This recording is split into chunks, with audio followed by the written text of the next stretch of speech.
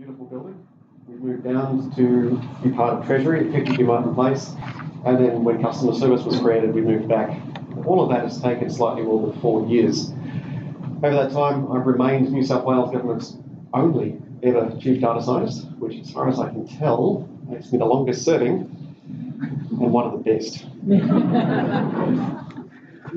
it's been a while in this building too, and over the course of those four years, the Data Analytics Centre has tackled some really interesting challenges and also found some really interesting challenges which we didn't expect. The Data Analytics Centre is tasked with addressing wicked policy challenges, so problems that are complex, subtle, and ultimately have people's behaviour at their heart. Over the four years, we have looked at some really, really interesting things. Uh, the three examples, or three examples of which I will go through briefly we have taken the, the, the, position that data is a way of seeing the world. Every data set is incomplete, every data set is less than 100% accuracy, every data set has less than full coverage, every data set contains bias. Just selecting the data set by itself represents a form of bias. But every data set gives you a potential, a potential way of seeing that wicked policy challenge from a different perspective. We also take the approach that science is a way of understanding the world and we deliberately recomplicate problems. When we're thinking about a domestic family violence situation, we're looking at that journey of child, family, household. When we're thinking about educational outcomes, we're thinking about all the different possible effects or interventions or points of contact that we can see that journey of child, family, household through the lens of typically administrative data when we looked at compulsory third party insurance and imagined a world where we have autonomous vehicles and we have ride sharing, we asked ourselves the question could we understand that journey of someone who's involved in an accident? Can we understand that journey of someone on the pathway to recovery? And by recomplicating the problem, by deliberately trying to put our arms around as much of that journey as possible, we have a much better opportunity to think about the types of interventions or the, the set of interventions needed to drive outcomes. And reframing the conversation in terms of outcomes is another really important lesson we've learned along the way. Rather than trying to drive a particular individual outcome, we think about the, the concert or the interaction between outcomes in a framework. And it works we, we have survived to this point. We have made some really interesting uh, mistakes along the way, but we have learnt really quite a lot. And that approach of every data set is useful and every data set comes with all of these imperfections allows us to use some of those really powerful, sophisticated algorithms to try and make sense out of these data and reframe the conversation in terms of outcomes. But I thought I'd start easing you into this by talking about where we're going and just a little bit about the philosophical approach of how we tackle these wicked policy challenges. Over the last couple of months, I've spent time at some international data standards conference, and I know you're excited. There is nothing more fun you can do than going to a data standards conference. One of them was in New Delhi, and the air was absolutely choking with smog. And we're there talking about smart cities and there are standards groups looking at standards for smart cities, outcomes for smart cities, indicators for smart cities. We're talking about the UN Sustainability Goals 2030, one of which is around smart cities, but it includes things like air quality and escaping from poverty and gender equality and a whole lot of great things about how we'd like the world to be. And we're asking ourselves the question of how do standards help help us get there? How does data help us get there? And it's remarkable. Every single time we come back to the complexity of these challenges, being able to describe what we're trying to achieve in the context of these are the outcomes, these are the data driven indicators, these are the data sets we'd need to link together in order to and understand those indicators, and these are the ways we'd help to understand those points of friction that stop us getting there. In the context of not just the complexity of a city, but in the context of an aging population. We're all getting older at the end of my presentation, you will know what I mean. We are all getting older. We're all living longer. You may not want to after this presentation. And the world's population is increasing. Today, 7.6 billion. By 2030, when the sustainability goals are being thought about, and certainly within the time frame that we start thinking about planning infrastructure, the world's population is expected to be 8.5 billion people. an extra billion people, no more land, no more water, no more natural resources. So when we're thinking about how to understand these outcomes, how would we would drive indicators, it's not just in the context of a better understanding of what's happening now. It's in the context of thinking about how the world might look, at least from major megatrends, societal megatrends, technology megatrends, environmental megatrends, and putting that sort of lens on things as we start to think about what we'll need by 2030, 2040, and 2050. This morning I had a chance to talk with some folks from planning about uh, electricity infrastructure 2050. 2050 is a long way in the future from a planning perspective and certainly from a government perspective. It's actually only one generation. And thinking about a digitized, hyper-connected world where we're certainly using a lot of artificial intelligence or algorithmic ways of understanding all that data helps us to think about what we need to understand, what we need to monitor, track, and look at major factors for to help us work out where we need to go and are we actually getting there along the way. So, during the course of the last four years, we have taken a lot of problems which have been brought to us where people say, we want to understand this problem. And we've said, that's great, we can look at that, but we should look at it in the context of this. And then we'll come back to that proof of concept, that, that thing that you're trying to do, where we help to understand that journey of child, family, household, in some cases business, in some cases a fire truck or a bit of infrastructure and how that's used. And depending on the life that we're looking at, when we talk about what we really want to achieve, sometimes it's 30 years out, but often it's 10 or 5 years out. And we think about how we'll understand when we're getting there and how we'll understand whether or not we are, we are measuring, monitoring, and impacting the things that we need to to drive those outcomes. Now, I mentioned that I've been at some standards meetings of late. I will come back to that. The, the data part is the really interesting bit. But the challenge of thinking about that complexity means that there are a whole lot of different issues we need to, to bear in mind when we're contemplating that future world where we are literally seeking sustainable intensification, greater urbanisation, living longer, more people, and living with a whole lot of new conditions which, which we see as a consequence of, of the world changing. And when we think about what we need to get right, the frameworks we need to put in place, the one that I'm, I'm particularly interested in is the privacy preserving data sharing, which will, I promise you, I'll get back to as the, the focus of what I'm going to talk about today. Because if we don't get the privacy part right, as we link more and more data sets together, in particular de identified data sets, if we don't get that right, we fall over some pretty big legislative barriers and also some pretty big cultural and normative barriers. But I promised to tell you a little bit about how the DAC's been going. For those of you who were here at the last presentation, which was in 2015, I'm sure you remember it very, very well. There were all of these projects that we started off with. We had, at the very beginning, like all good ideas, we had no budget, no staff, we had no data, we had no data scientists, we had no compute platform, we had 10 problems which were endorsed by New South Wales Cabinet, originally nine, and then given out of home care reform as a 10th. And we had legislation in the works that said that for a cabinet endorsed project, agencies had to share data with the Data Analytics Centre. And we had some interesting times along. One of them that I'll just briefly touch on is procurement. I've already said data and standards in the same sentence. I'm now saying procurement. Notice one person passed out at the back. Just try to hang on. We were working with the good folks at procurement. Procurement is often seen as a, fundamentally important part of government, but also an area where great innovation remains possible, but doesn't happen because of all of the, the, the, appropriate checks and balances associated with probity and associated with just governance. And the governance tends to be quite heavy in the procurement world. We had a conversation with procurement about outcomes. What do we really want to achieve? And when you let the procurement folks go a little bit, what they're trying to achieve is a more effective government, more efficient, take cost out, do things faster, but also more effective.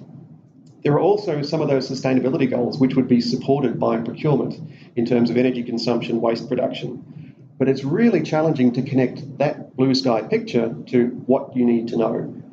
That's a work in progress, and interestingly, as we moved out of Treasury back to McKell, the procurement folks have moved into Treasury, and we're now having a lot more conversations with my former boss about the work that we could have done while we were here, except we're over there. This is the way government works. We started with just a data cleansing exercise, and it was a simple proof of concept. And that was can we treat the procurement spend categorization a little differently? So, the way it used to work is there were three people who every quarter would sit in a dark room and run electronic invoices through the spend cube and run those invoices against approximately a million rules. And then they'd get categorized into 275 different categories. We developed a, an artificial intelligent algorithm, in fact, three different algorithms, ran them in competition with each other, and ultimately came up with a solution working with the folks at procurement to do that whole process in three hours. And since then, they've subsequently accelerated that process. But there were some interesting things that we found. First was there was no one silver bullet to in terms of an algorithm. But secondly, we couldn't ever get more than 96% agreement with the old way of doing things. So we trained on a million records, we trained on 5 million records, we trained on 10 million records. New South Wales has a lot of records, it's $30 billion a year spent. But we couldn't ever get the accuracy or the agreement to better than 96%. That was good enough for that process, and it's running now. But we decided to look at that 4% and see where the differences were. And it was really interesting when we saw where the differences were. And we thought maybe this is actually showing that the fundamental taxonomy could do with an upgrade. It's been built over time. It doesn't necessarily have the granularity and specificity which you could now expect if you redesign the taxonomy. We also did something interesting and we took out one category, other, and forced categorization and said, let's see what happens when we force those, those, those invoices to be uh, categorized against something other than other. And that was an interesting exercise as well. And that's work that we will go back to. Uh, but there was a really, really interesting result, which I'd love to tell you about, but I won't. What we realized was there were a whole lot of things that kind of just fell through the cracks because of the granularity and specificity of this taxonomy. And if we put time and effort into that space, there may well be some, some interesting returns for government. We also realised that there was, even though this was de identified, we realised we were starting to touch on some personal information in those categories, in that other category. Because very often they were receipts or reimbursements for a range of different sorts of things. So even data that we thought was de identified had personal information in it. It's an interesting exercise which is ongoing Another exercise we carried out was to try and understand where to put the next school in New South Wales. And the way the, the, the, the Department of Education typically goes about this exercise is to estimate the population based on census, to look at births, deaths, inward migration, outward migration, and then estimate based on population the capacity needed for schools. Now, I've talked about already about outcomes a little bit, and the outcome focused approach we took in this case was to think about it slightly differently. Rather than knowing what the population was, we thought we'd ask the question can we know who will turn up seeking enrolment, K through 12? And can we do that per school? And can we understand preference, this school versus that school, and propensity, public versus private? And the approach we took was to use hundreds of different data sets to try and not only understand community composition at an appropriate level of granularity to help understand what the, the composition of the community is, but also that aspect around this school versus that school and public versus private. So we linked hundreds of data sets together and again found some interesting things. The first was that the traditional model or the predictor that education used actually outperformed our three algorithms in some parts of the state. We got what we think are much better results in many parts of the state. In fact, if you look at the map over there, the orange part is where the old system worked better. So not one size fits all. Three different algorithms running in competition against the old algorithm. The old algorithm won in a couple of different parts of New South Wales. We also found that we could actually predict K through 12, but not at a school level. We could predict it at the next level up that's not an SA1 level equivalent, but an SA2 level, because it was actually better at working things out at a cluster level. We didn't have sufficiently accurate or fine grained data to do it at an individual school level. And we also found that there's a lot more potential in this space if we were prepared to start linking in a lot of other data sets. So we, we looked at non traditional data sets, but we, there's a whole lot of other data sets which were candidates that we feel might help us move in that direction. The question was, of course, was that good enough, or is there more that we could and should do in this space? The project that we have been working on since the outset of the Data Analytics Centre has been out of home care reform. When we came into this space, New South Wales was just going through a reform, a review, uh, the, the Tune review. 22,000 children in New South Wales in out of home care, all identified at risk of significant harm at ROSH taken from their families, put into some sort of protective environment. It cost the state a billion dollars a year, and the outcomes were certainly not what the state was expecting. So we were asked to build a data asset to help underpin reform, and we ran a process very much along the lines of those other projects where we started talking about outcomes. What are the outcomes that we are looking for? What's a good outcome? What's an adverse outcome? And can we understand that journey of child, family, household through the lens of different government data sets and identify points of friction or major trigger points where it heads towards a certain outcome or away from a certain outcome. Now, this was actually a, a fairly controversial approach when we started it. We linked data from education, justice, family community services, and health. A 10 year longitudinal data set covering 44,000 children 22,000 at the time, 44,000 over 10 years, and linked in every related person as described by Family and Community Services, 137,000 related persons, and demonstrated that this was a very powerful tool for understanding an outcome. As an example, how children would exit out of out of home care, age out to turn 18, adoption, stable placement, return to family. And we could predict within an accuracy of 80 to 90% that most likely outcome. And we learned a lot by doing that. First thing is we shouldn't use the term predict when we're talking about people. We should be talking about identifying most likely outcomes. But we also realized that we had, by linking these data sets together, we had hit a fundamental sensitivity. And that's the concern that even though de identified, even though linked through the Centre for Health Records linkage, Ministry of Health, that's the gold standard, but by linking so many data sets together, we hit that concern that there must be personally identifiable information in those linked de-identified data sets. There must be. We had some very tough conversations with the Privacy Commissioner who said this project has to stop because surely you have personally identifiable information. And the question was, how do you tell one way or the other? How do you tell whether or not you're reasonably likely to re-identify an individual? So that led to a, a, bigger piece of work. Now, that project has continued. That project was re established under public interest direction from the current Privacy Commissioner, signed off by Attorney General, signed off by Minister of Health, and has expanded to 30 years of data, more data sets from those first four agencies, but also Department of Transport and Department of Industry. And when we that statement that every data set potentially gives you insight into the, the, challenge or the factors of risk associated with those outcomes that you're looking for.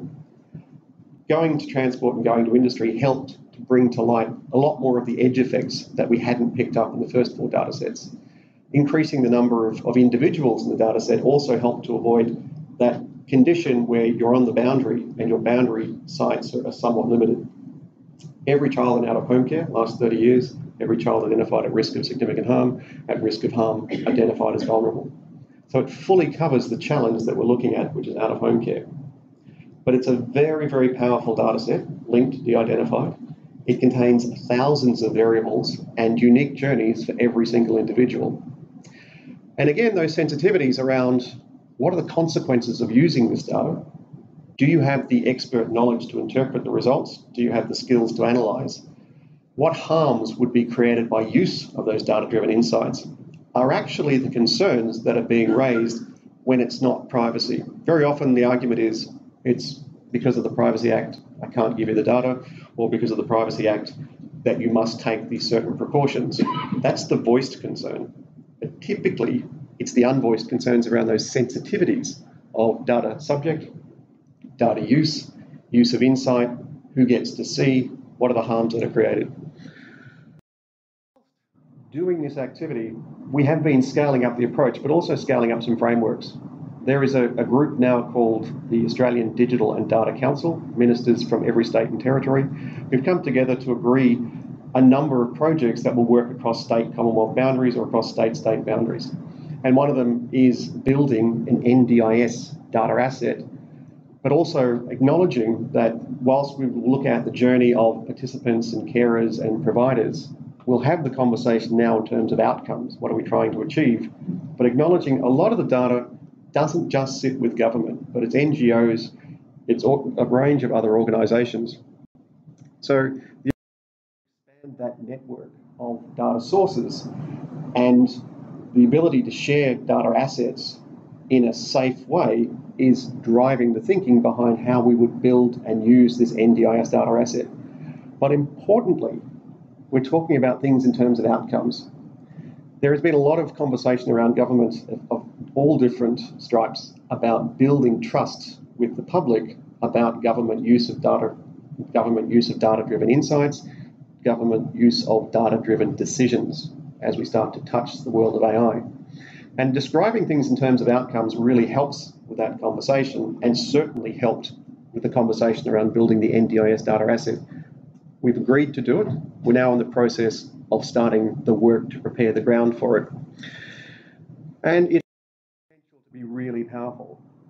But again, we are deliberately building the complex journey through as many different data sources as we can to understand what actually happens to people in the system, providers in the system, identify those points of friction to see if we can pull the kinks out through service reform or policy reform, or in some cases, even nudges. And that's an efficiency argument. But the outcomes means that we're starting to talk about effectiveness. Does the system actually do what it's supposed to do? And by updating the data assets, we can see whether or not the set of interventions actually are making the difference, driving the outcomes we're looking for. Acknowledging, acknowledging the fact that every individual's journey is unique but ultimately, the point is to close the loop, to do what any good engineering solution would do. Make sure you're driving in the direction, make sure you understand the direction you're driving, make sure that you've actually got the ability to course correct, and make sure that you're constantly improving the system. But the challenge is data sharing. And the challenge of data sharing, I mentioned, the voice concern is personal information, but really the major concerns relate to sensitivity. But personal information is where we have legislation. So over the last three years, we've been looking at whether or not we could build a measure of personal information factor. And that measure is based on an understanding of the information content of linked de-identified datasets and how unique the smallest group is in that linked de-identified dataset. And over the course of three years, we've tried a lot of different things, and we have slowly but surely built up a definition in three different contextual environments, acknowledging that how you use the data, who sees the data, and what other data sets you potentially can bring to bear make all the difference in the world about whether or not someone is reasonably re-identifiable. So we've simplified all of those different environments into three. An environment where we have a closed analytic environment where no more data gets in or out, machines are looking at it, into an environment where people see the data and people see the insights, and you, through process and different sorts of, of controls, can manage who sees the data and who sees the insights. And then the outside world will release data as open data, and we have no control whatsoever over who sees or. We've been working through a risk framework called the Five Safes. ABS really like it. It's something which we've tried to look at the concept of if you've got a really safe person working on a really safe project, you can potentially use really unsafe data in a safe setting and produce potentially unsafe outputs. But then the question is who sees it? But we've been asking the question can we have a 30% safe person working on a 50% safe project? What do we need to do to the data? We have honestly been trying to do that. Uh, I don't think my hair was this color when I started. I'm sure I, I looked a lot younger as well but we've been making progress. Every year we put out a technical white paper under the banner of the Australian Computer Society, 2017 was we think these are all the dimensions we need to contemplate. 2018 said, well, if we had this personal information factor, this is how we'd use it. And this year, this is the personal information factor. So that'll come out in December. But we also realise that five safes is nowhere near enough. We need to think about the organisation. We need to think about the uh, the long-term use of the data over its entire life cycle. We need to think about the outcomes. And again, talk about not an individual project, individual analytical thing we do, but why are we doing it and what's the context for that data in terms of that use in terms of outcomes. We need to think about how we're going to use that insight and whether or not it goes into an automated system. We're getting driverless trains, a door sitting there running an algorithm, counting people going through, may be able to make an automated decision to leave the door open for an extra second. But if we did a project on homelessness, there's no way we'd put that result into an algorithm and actually do something with it. So the safe use is actually really important, and that's the fundamental aspect behind the AI summit, which is being held later this month. But ultimately, the, the thing we always tend to avoid, but really need to think of, is what happens when things go wrong. What are the harms that are created? Are those harms reversible or not? Are they reversible with some residual cost? To quantify that, we've also been trying to quantify what do we actually mean by data sharing. From the most restrictive is, I'm not going to tell you I've got a data set, and there are data sets like that, to there is a data set, okay, to this is the metadata, here are some data products, aggregated, obfuscated, perturbed, to, okay, you can have a copy of the data or you can even change my data. There is no standard for that, believe it or not. And often we get into really complex conversations without knowing exactly what we mean by data sharing. But this is the really big stuff.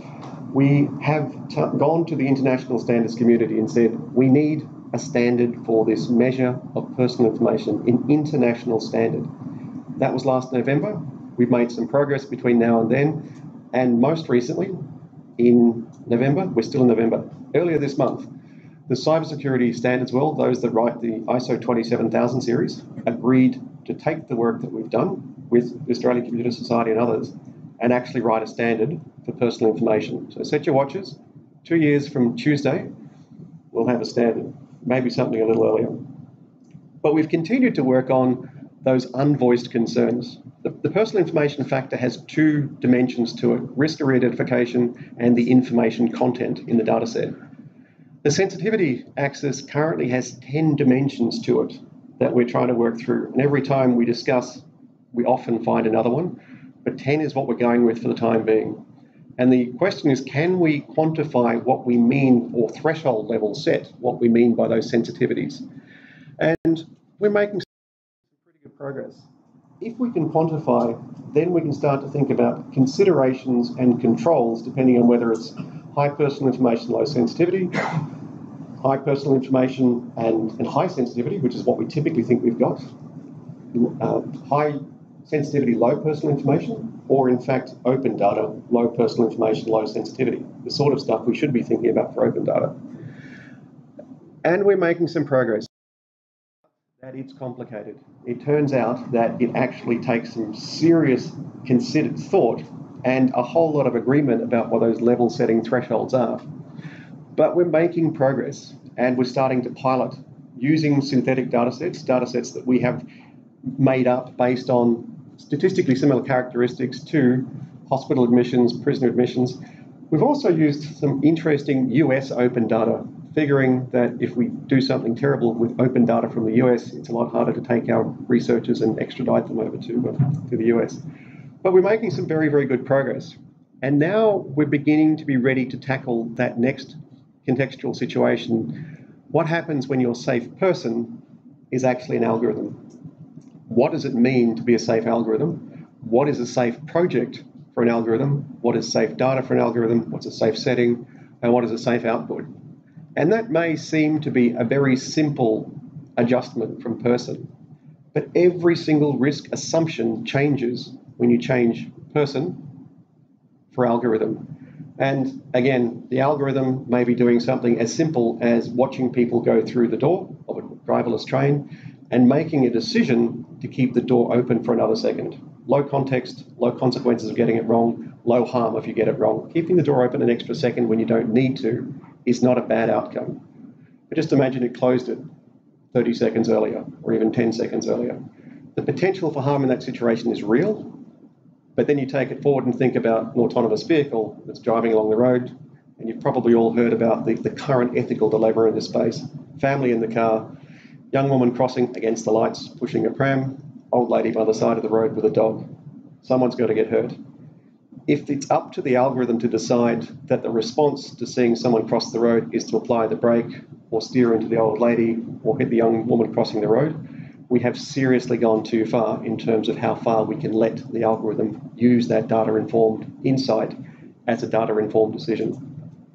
So, where we are right at the moment is thinking about where those red lines are, how we contextualize where we should put those red lines, how far from those red lines we should actually be, the impact of things like data quality, the impact of things like bias in data, and the impact of things as such as who gets to use the output. Thank you very much.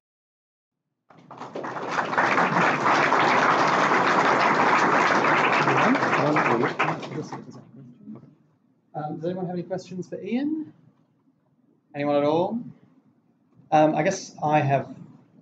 Yeah, no, I, I do have one. So I guess at that last point there, so I was thinking about this as you were presenting, um, and you were talking about, you know, do you let the algorithm make those decisions? I guess, you know, if you're not and you still have people making the decisions, how easy is it to demonstrate that the algorithm has actually done